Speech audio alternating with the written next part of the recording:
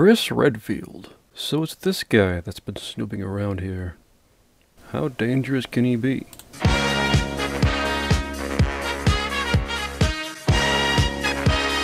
He's just a crazy man.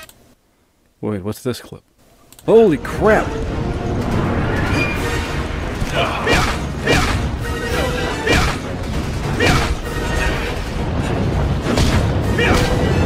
What are you watching, Heisenberg? Nothing, Mother.